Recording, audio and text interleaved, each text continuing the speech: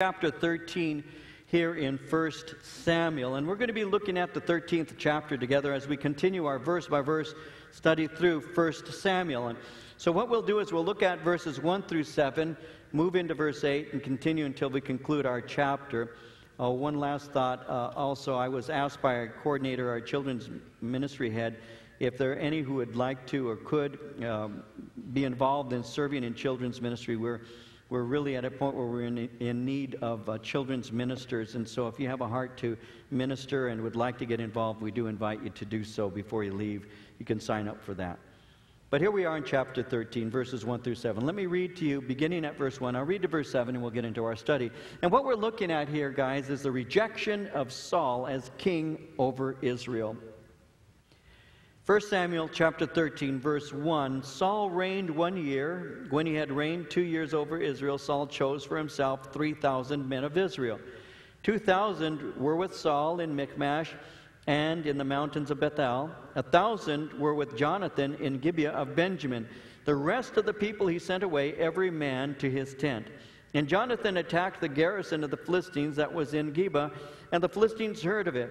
Then Saul blew the trumpet throughout all the land saying, Let the Hebrews hear.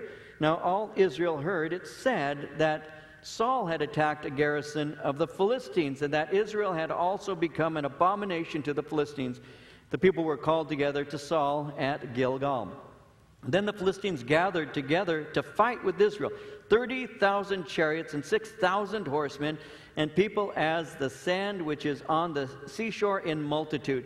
And they came up and encamped in Michmash to the east of Beth Aven. When the men of Israel saw that they were in danger, for the people were distressed, then the people hid in caves and thickets, in rocks and holes, and in pits. And some of the Hebrews crossed over the Jordan to the land of Gad and Gilead. As for Saul, he was still in Gilgal, and, and all the people followed him trembling. Now, verses 1 through 7 seem to be speaking of events that take place within the first two years of the reign of King Saul. Now, we know that within the first two years he had battles. We know that he fought against the Ammonites, and we know here in this passage here that he's about to have uh, battles with the Philistines. And so, what we have here is we have him basically. Uh, getting his power or, or, coalescing his power and becoming king. And this is all taking place within the first two years. And so what happens is verse 2 tells us that he chose for himself 3,000 men of Israel. Now, 2,000 were with him in Michmash in the mountains of Bethel, 1,000 were with Jonathan in Gibeah of Benjamin, and the rest of the people he sent away, every man to his tent. And so, what he begins to do is he begins to have uh, certain men that are gathered together to him to be kind of like a contingent. He has more of a security force that he's developing. We saw in chapter 10, verse 26, that there were certain men who were valiant men who, who vowed to, to serve him. Well, what he's doing now is he's adding these men to himself. So he's choosing 3,000 men. Now, that becomes a habit of his because later on in chapter 14, verse 52, we see when Saul saw any strong man or any valiant man, he would take that man for himself. So he began to develop a security force. He kept 2,000 of them with him in a place called Michmash. If you're looking at a map of Israel and you're looking at the city of Jerusalem, which is in the south, what you have is you have Michmash, which is about seven miles to the north and to the east of Jerusalem. So this gives us an insight into where all of this is taking place. It's taking place in the south. All of the things, all these names and name places that you see are taking place, these things are taking place down there in the south. And so he's got 2,000 with him up there in this area. The other 1,000 are placed under his son Jonathan's command in Gibeah, which is, which is a few miles south of him. The rest of these people are sent home. Now, as this is taking place, verse 3 Jonathan attacked the garrison of the Philistines that was in Gibeah, and the Philistines heard of it. Saul blew the trumpet throughout all the land, saying, Let the Hebrews hear. Now, all Israel heard it said that Saul had attacked a garrison of the Philistines and that Israel had also become an abomination to the Philistines, and the people were called together to Saul at Gilgal. And so what happens here is Jonathan attacks this garrison, and it's in a place called Geba. Now, Geba is about one and a half miles south of uh, southwest of Michmash. They have a garrison of Philistines there. Now, when you see the word garrison, I looked it up. I wanted to know how many soldiers we're looking at. And there was no actual number given for a garrison of Philistines. So a garrison usually at that time would represent at least 50 soldiers. And so a garrison was a unit of specialized troops with a duty of, of uh, protecting a specified area. And so that's what he's doing. He's attacking these specialized troops. And what happens is he's a brave soldier and he attacks them and intends to overwhelm them. So he attacks this garrison. Well, after Jonathan attacks the garrisons, the, Pharisee, uh, the Philistines begin to rally their forces. But as this is taking place, I want you to see something in verse 4. It says, All Israel heard it said that Saul had attacked a garrison at the Philistines of the Philistines, and that Israel had also become an abomination to the Philistines, and the people were called together to Saul at Gilgal. I want to speak to you a little bit about that because there's a place of application here. What we have here, and I want you to notice verse 4 all Israel heard it said that Saul had attacked a garrison of the Philistines. Now, wait a minute. Saul hadn't been the one who attacked that garrison. Who attacked that garrison? His son Jonathan did. Jonathan's the one who attacked the garrison. It says it in verse 3 Jonathan attacked the garrison of the Philistines that was in Geba. So here we have a man by the name of Saul taking credit for something his son did.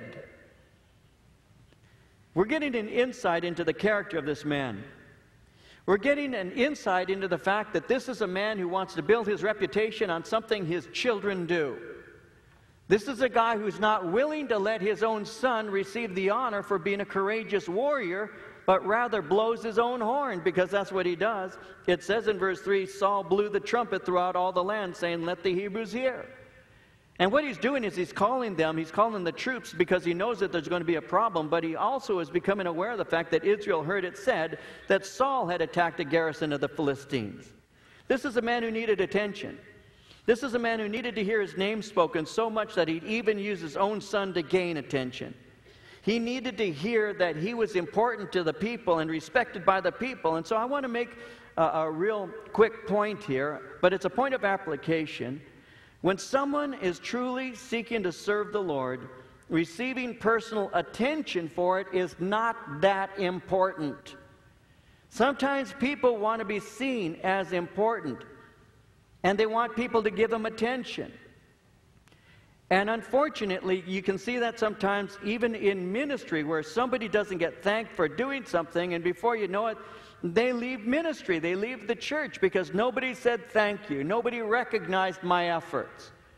Saul was somebody like that to the degree that he was willing to even use his own kid to garner respect in a nation when it was his son Jonathan who did the warring. It was Jonathan who should have been commended, but it was Saul who began to blow his own trumpet, and it was Saul who needed the recognition. We've heard it said if you don't promote yourself, nobody else will promote you.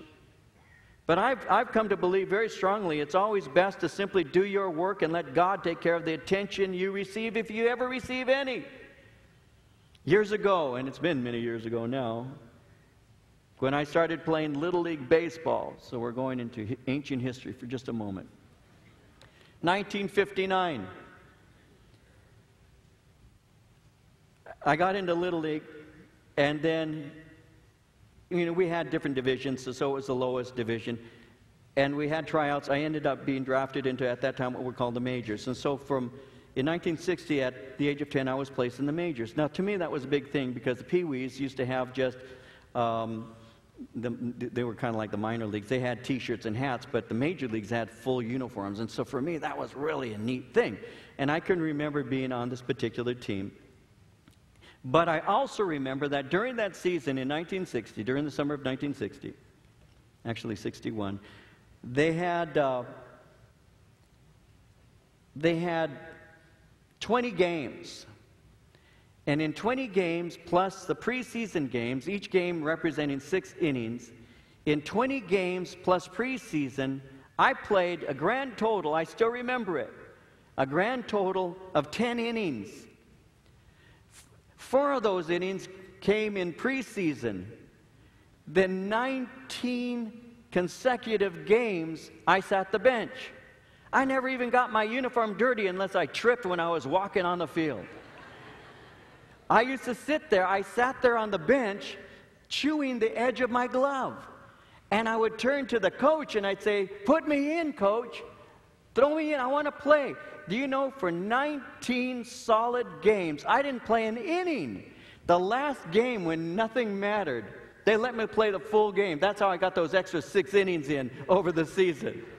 It was a time, guys, when, when you didn't get to play simply because you're on the team. It was a time when the teams actually had to win the trophy. Everybody didn't get trophies just for suiting up. Today we have everybody gets a trophy because we don't want to hurt anybody's feelings. At that time, it didn't matter. If you won, you got a trophy. If you didn't win, you didn't get one. It was that simple. And, and you didn't have to play. And I have to tell you, it was tough. It was very hard. It was. To be seated there in your uniform, having kids throw a ball at you when you're sitting there just to bully you on the bench was not a lot of fun. And I would sit there and I wanted to play. I mean, I suited up for this. I want to play. I can play. Why am I not playing? And I went through that for all of those games 22, 23 games, four innings out of 22 games, and then six innings the last game when it doesn't matter. And so I learned some lessons. The next year, I played half. They play me, they play another guy. The next year, I played every game. I was an all star. But you know what? You start out when, with, with nothing and you ended up having the joy of doing well. And I learned some lessons. I learned lessons. I learned that just because you suit up doesn't mean you're going to play. I learned that, that you may have qualities and gifts and abilities, but don't push yourself. Don't try and become the person that, that the coach is going to use simply because you keep nagging and whining. I learned those lessons because I discovered that there are things you learn on the bench that you won't learn on the field. And I learned a lot of lessons, I have to tell you. I had a lot of time to learn on that bench. When my son Dave was playing ball, he was a good ball player in Little League. And for whatever reason, he wasn't starting. And, and I, I, I watched the same thing happening to him that happened to me. And they'd throw him in in the last inning or the last, you had to have at least one at bat or whatever the rule was. And, and they'd throw him in and all. And, and I finally said, Son, do you want me to transfer you? You want me to get a trade going so you can be on another team so you can play? What do you want me to do? He said, I want to I wanna stick it out, Dad. And I said, That's, That'll be a good thing. There are going to be some lessons you're learning on the bench that you're not going to learn on the field. Learn the lessons. And I said to him, Make sure that you do not say to the coach, Throw me in. Because I said it would be just your fortune for you to be put in. The ball would come rolling past you. You'll lose the game. And, and you're insisting. I said, No, let him put you in. That way, if you do badly, it's his fault, not yours. just sit the bench and learn your lesson. Just learn the lessons of character, learn the lessons of patience, learn the lesson of being a team player.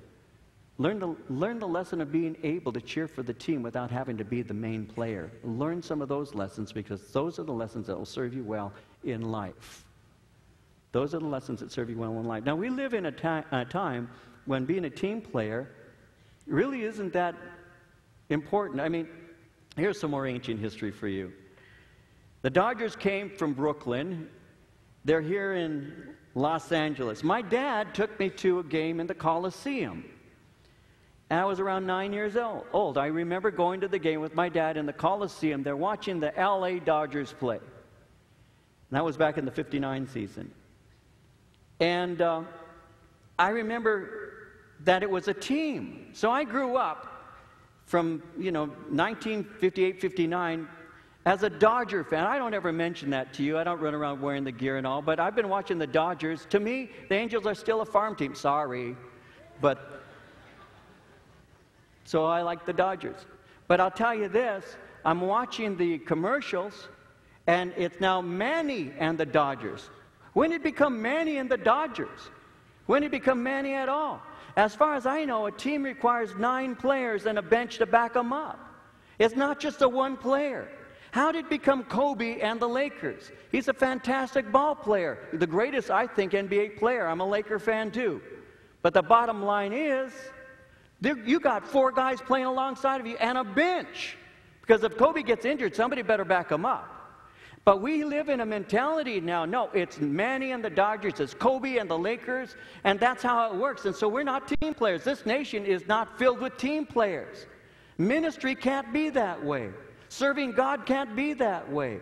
We're the body of Christ. There are many members, but one body. And so every person has a place. Every person in the body of Christ has gifting and skills and abilities that they ought to be using in order to glorify Jesus Christ. And if we didn't have that here, then what I would be doing right now is I would be teaching a home Bible study on a Wednesday night with a handful of people because that's how this church began.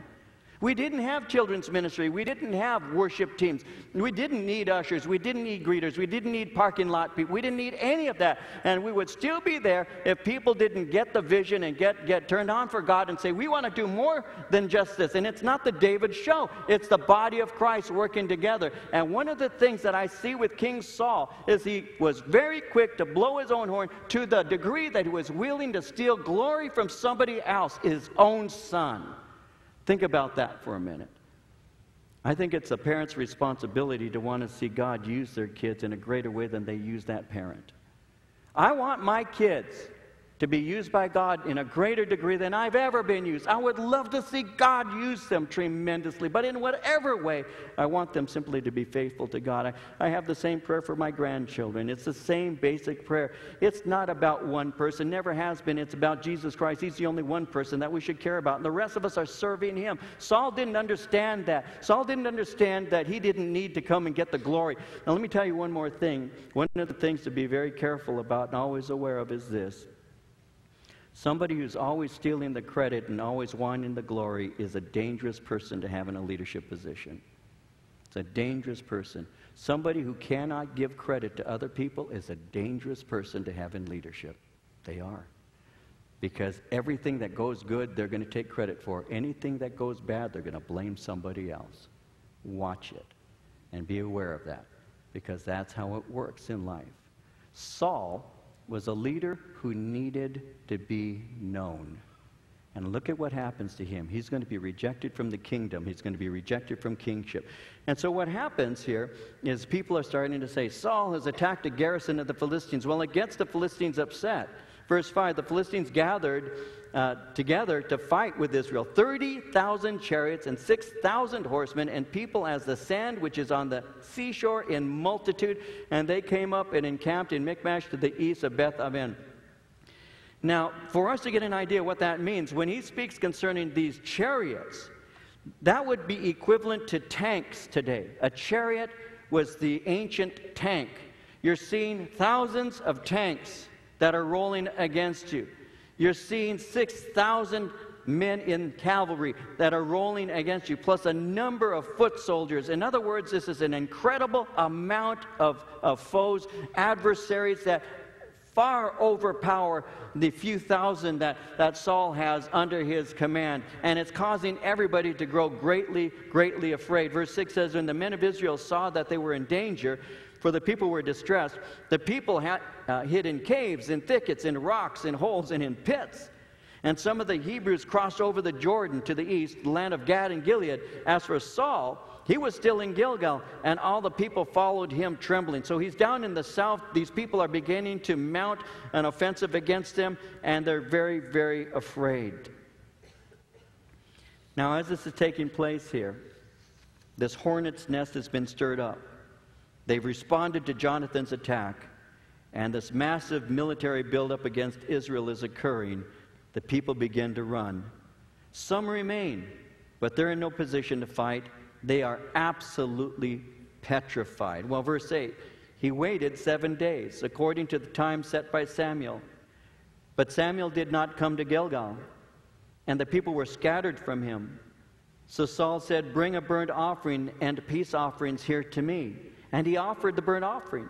Now it happened as soon as he had finished presenting the burnt offering that Samuel came, and Saul went out to meet him, that he might greet him. Samuel said, What have you done? Saul said, When I saw that the people were scattered from me, and that you didn't come within the days appointed, and that the Philistines gathered together at Michmash, then I said, The Philistines will now come down on me at Gilgal. And I have not made supplication to the Lord. Therefore I felt compelled and offered a burnt offering. Samuel said to Saul, You've done foolishly. You have not kept the commandment of the Lord your God, which he commanded you. For now the Lord would have established your kingdom over Israel forever.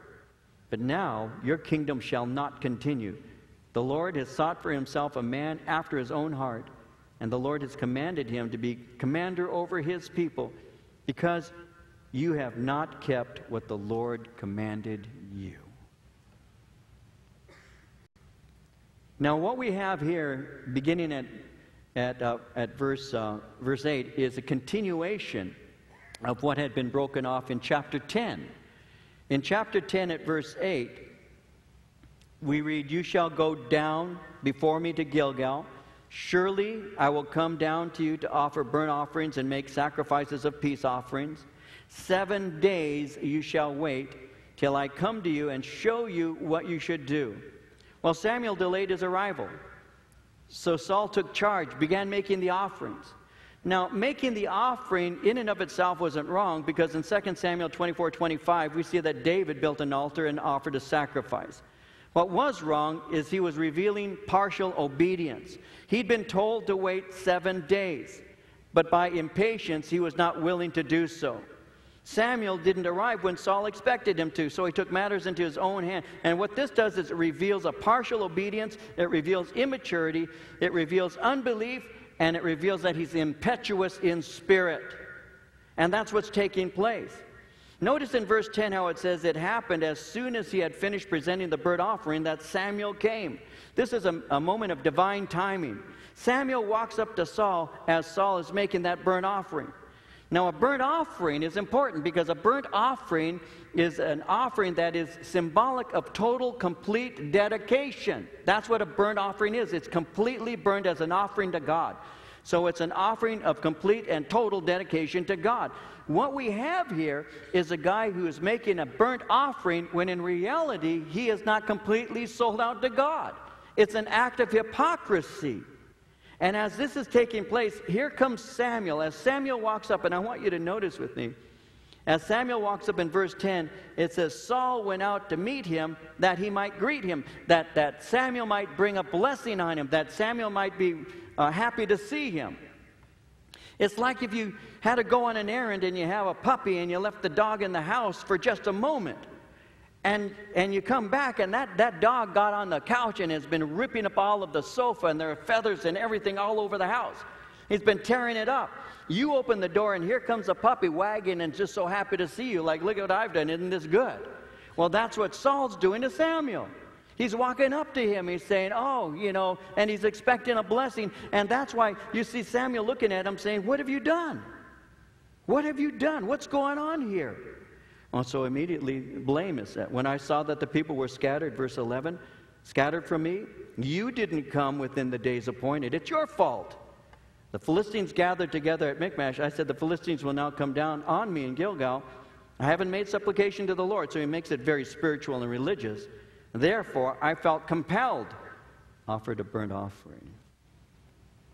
Well, in chapter 10, verse 7, Samuel had told Saul, When these signs come to you, do as the occasion demands. And that's exactly what Saul did.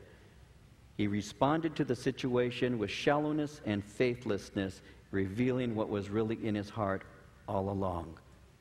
In a way, it would seem that Saul is saying, I'm in the real world, I'm doing the fighting, while you're doing whatever it is that you do. But the result in verse 13 is is Samuel saying, You've done foolishly. I have told you, you were to wait for seven days. Now, this is important. This wasn't something that Samuel determined, this was a commandment of the Lord. That's what he says in verse 13 You have not kept the commandment of the Lord your God. This wasn't a suggestion, this was a command. You know, here in California, we, we take certain things that are laws as suggestions. Stop signs are suggestions, aren't they? I suggest that you stop. If you see a cop, stop.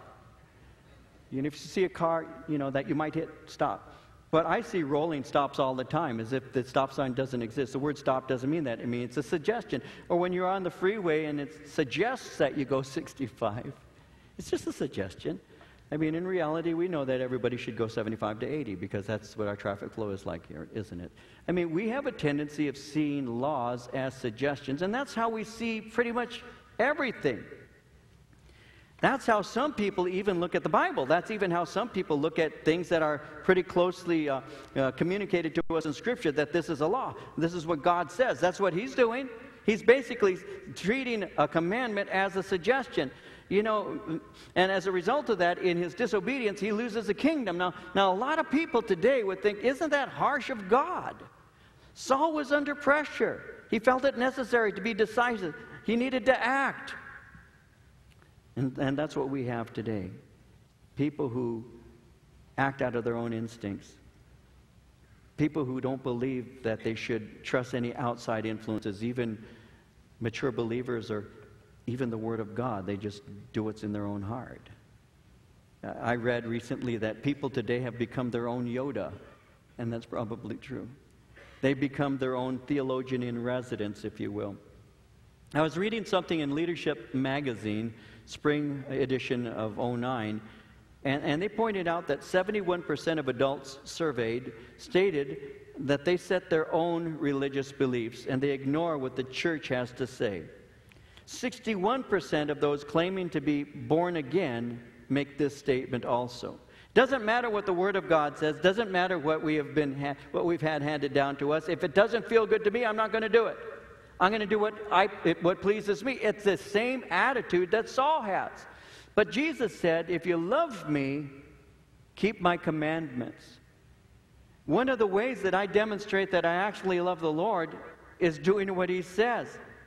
In the Old Testament book of Deuteronomy, in chapter 30, verse 20, we're commanded, Love the Lord your God, obey his voice, cling to him, for he is your life and the length of your days. Love the Lord your God obey his voice, cling to him. That's demonstrating that you really have a relationship with God. So, in the case of Saul, he was not loving the Lord, he was not obeying him, he did not cling to him, and the result is the kingdom has been taken from him. Notice verse 14. But now your kingdom shall not continue. The Lord has sought for himself a man after his own heart and the Lord has commanded him to be commander over his people because you have not kept what the Lord commanded you. Now, this is something that I find interesting. I'm not going to bore you with all, all, kinds of details, but in order for you to understand why this is important, I want to point something out. Notice what he says here. This is an important point here. Verse 14 The Lord has sought for himself. Notice what he says. The Lord has sought for himself what? I want you to say it. What has he sought for himself? A man. Do you see that? The Lord has sought for himself what? A man. Now, wait a minute. When I first read this, I'm thinking that David, whom I know this is in reference to, must have been an adult. David must have been an adult because it says here, the Lord has sought for himself a man, right? Now, when you read in the book of Acts, chapter 13, verse 22. In Acts chapter 13, verse 22, this is what we read. When, he, when God had removed Saul, he raised up for them David as king, to whom also he gave testimony and said, I have found David, the son of Jesse, a man after my own heart, who will do all my will. And so I've, I've read this so many times and I've thought, yeah, David, of course, David is a man. Now, wait a minute. When you start digging a little deeper, it's interesting to note that at this time, David was not a man yet. David was a little boy. The Lord sought for himself someone to take Saul's place years before it actually occurs. When you look at Acts 13 21, it tells us that Saul was king for around 40 years. When you look at 2 Samuel chapter 5 verses 4 and 5, it says that David became king when he was 30 years of age. Some of the people that I use who are commentators pointed out that David, when this was taking place, because it's early in the history of Saul, David could have been at this time, one commentator in particular, made this point. David at this time could have been as young as two years old. He could have been as young as two years old when this took place. This is early in the reign of King Saul, within the first two years. Now, there's a point I'm going to try and make with this. God looks ahead and sees what He's going to do with somebody who is yet to become old enough to even hold the position that He's ordained him to hold. Which tells me that if you make it practical, that right now in this church, in the nursery, or perhaps in the elementary educational area, or in the junior high, or maybe in the high school, it is very possible that the next pastor of this church is being cared for by somebody in this church right now. That there's a family in this church raising a two year old, a three year old, a five year old right now who's being prepared to be the leader of this church when God removes me because I'm 58 years old. I don't know how long I'm going to remain here. It could be a high school age kid, it could be somebody working right now in children's ministry, teaching kids, learning how to communicate. You never know. You, right now, who have small kids, you who have children in the children's ministry, you may be raising the next pastor of this church. You may be doing that at this moment. Listen, when I was 20 years old and I got saved, I started teaching the Bible at 23. I was ordained as a pastor at 29. I planted this church at the age of 30. If you'd have told me all of that was going to take place in six or seven years, I would not have believed you. I would have thought you're kidding me. If you'd have told me within 10 years you're going to be pastoring a church after I got saved, I'd have said, You've got to be kidding. You have got to be kidding. No, you're going to be pastoring a church in Ontario, move it over into Chino, and God is going to bless it. You're going to blow your mind at what I'm going to do. I'd have said, You've got to be kidding. Never put God in a box. Never say God can't do that. God can do abundantly above all you can ask or think. He's got something He wants to do with you. And the real question that I have for you today is what does He want to do in your life? Yesterday, I had 18 to 25 year old boys and men stand up in this church, and I said, I want to pray for you. Why? Because that is the future of this church, and that is the future of the church in the United States. And I believe that God wants to use that age group. That's why I want to meet with the 18 to 35 year olds. That's why, because I want to pour my life into them. Because I know that God wants to use them in the future. One of these days, God's going to remove me. He's going to say, you know what, go out there and, and clean your false teeth because I got things to do with these young people. That's what He's going to do. And, I, and, I, and that's cool with me. That's fine with me, Lord. That's fine with me. Please just raise up the one who has a heart after you. That's what I want in this church. David is a, is a kid, maybe as young as two, but what does God say about him? He says he has a heart after mine. That's what qualifies you. Having a heart after the Lord, a desire to do the things that please God. A heart. Every morning you wake up and you say, God, here am I, use me. Like Isaiah, where they say, Who shall I send? And he says, Here am I, Lord, send me. Have that heart. You don't have a clue what God can do with you if you don't open yourself up. If you just take the chance with the Lord, just say, God, I want to be used by you. I don't know what it is. I don't need the notoriety. I don't need the fame. I don't need people to know who I am. I just want to be used by you. What is it that you want to do in my life? Make it count for something, Lord. I don't want to be one of these people that's just a blip on the map. I was here and I'm gone. And basically, what I have is my the, the, the day I was born, 1950, and the, the year I died, and just a straight line in between with nothing accomplished. Nothing to put down on my tombstone, nothing on my headstone that says I was here. I don't want to be that. I don't want to be that. I want people to be able to say, This person loved God, influenced my life, and there were changes made through them that are eternal. David had a heart after God, a heart after God. And he was just a little guy. He was somebody who would care for his father's sheep, and he'd look up and he'd see the stars. When I behold the heavens, the work of your hands, the handiwork. It's like you took them and you flung them out into space. I can't help but consider this. What is man that you are mindful of him, or the Son of Man that thou shouldst even consider him. What am I, Lord? Just in this little inconsequential speck called earth, in the midst of so many, that you should even consider me, that you should even pay attention to my prayers, that you'd be aware of my tears, that you'd be concerned for my life. What is man? So, that's my heart. I want to see God move in people's lives.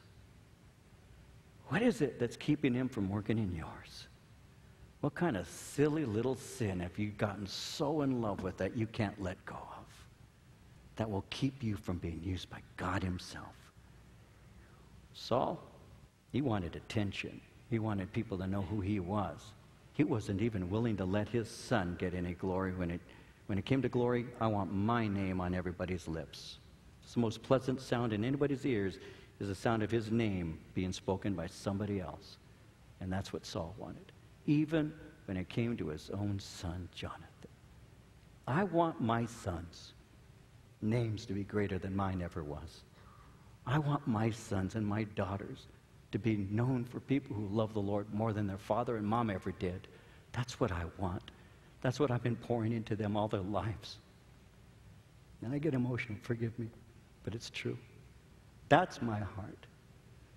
My sons will say to me every Christmas, Daddy, what do you want for Christmas? And do you know every year I say the same thing? What do you want for Christmas, Dad? I say the same thing. They should know by now. And they tell me, Oh, Dad, not again. I say, I want you to serve the Lord. Don't give me anything. I can buy myself what I want. The best gift my kid can give me, serve the Lord. Serve Jesus. That's the gift you can give to me. Serve the Lord. That's my heart. I don't need the things. Listen, what I want, you can't afford anyway. so serve the Lord. Have a heart after God. There's nothing else in this world that'll satisfy you like that. Nothing, nothing will satisfy you like loving Jesus, clinging to Him, and obeying Him. He is your life. He is your life. Not just one of the things that make up your life, He is your life. And that's what Christianity is, and that's what Saul did not have. He was partial in his obedience, tried to present himself as if he was completely obedient, had a burnt offering ready for the peace offering too. What are you doing? You didn't show up. I was afraid. People are deserting me. What you've done is wrong. God's going to take the kingdom from you because you didn't obey him. Well, in verse 15, Samuel arose and went up from Gilgal to Gibeah of Benjamin. Saul numbered the people present with him about 600 men. Saul, Jonathan, his son, and the people present with them remained in Gibeah of Benjamin. But the Philistines encamped in Michmash. Then raiders, which are their, their special forces, came out of the camp of the Philistines in three companies, and they went in three different directions. One company turned onto the road to Ophrah, there in Chicago. Oops to the land of Shual. Another company turned to the road to Beth Horon. And another company turned to the road of the border that overlooks the valley of Zeboim toward the wilderness. Now there was no blacksmith to be found throughout all the land of Israel, for the Philistines said, Lest the Hebrews make swords or spears. But all the Israelites would go down to the Philistines to sharpen each man's plowshare, his mattocks, his axe, and his sickle and the charge for sharpening was a pim for the plowshares, the mattocks, the, the forks, and the axes, and to set the points of the goads. So it came on the day of battle that there was neither sword nor spear found in the hand of any of the people who were with Saul and Jonathan. But they were found with Saul and Jonathan, his son. And the garrison of the Philistines went out to the pass of Michmash. And what they're doing they're assembling their soldiers, they're getting ready for an onslaught. They have their, their people all in position to attack. This Jewish military is no way capable of fighting them, they have no weapons. There's a highly skilled you know, contingent of military fighting men facing an army of men with farming tools. And as they're looking at Saul's ragtag army, they don't expect any trouble from them. But they don't know about Jonathan. They don't know about a man named Jonathan and the courage that Jonathan has, a, a courage that comes through faith. They don't know about Jonathan, but they're going to find out about him in chapter 14. which we'll see next time we're together. Our Father, we ask that you might work within us a heart like David's and a heart like Jonathan. Men who had a heart after you, men who had courage, knowing that you were in control. We see a, a, a, name, David. We know who it is. We don't know his exact age at this time. We know he became king at the age of 30. We know that he ruled Israel for 40 years. We know that Saul ruled for close to 40 years. So David very well may have been just a small child when you already saw what you were going to do in him. Well, Lord, you've already seen what you want to do in us. And you have plans that you want to work out in the lives of those children in the nursery all the way through the high school. And I pray that we wouldn't get in the way of your plans for them. I pray that we might, as a church, grab hold of the idea that we're here to serve you. May we love you. May we obey you. And may we cling to you, Lord, for you are our life. Our eyes, our eyes are closed, our, our heads are bowed, and perhaps there are some in this room right now who need to get right with the Lord. I want to pray for you right where you're at. The Holy Spirit is speaking to you that you need to get right with the Lord. I want to pray for you. Would you raise your hand right now, right where you're at? Let me pray for you. Father, you see these hands, and, and you know what's going on in these lives. You know their hearts. And I'm asking you now, in Jesus' name, that you would reach down and you would touch them. And as they open their heart to you right now, Father, that you would flood them with your grace and your mercy and your love and your power, that they might live for you and serve you.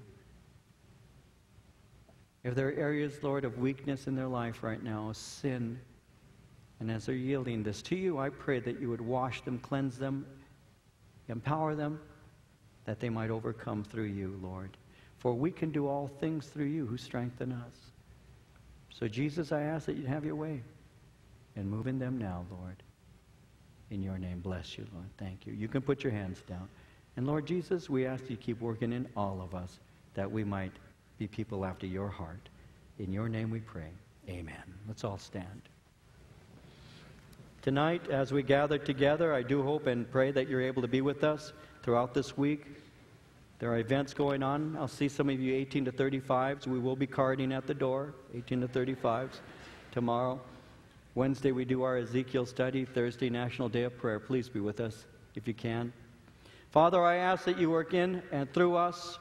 We lift up this church to you, the ministry you've given to us, this family. Lord, we lift up the children right now and the need that we do have. We pray for that, Lord, for ministers in that, in that very important, very crucial area. And I ask, Lord, that you would just have your way.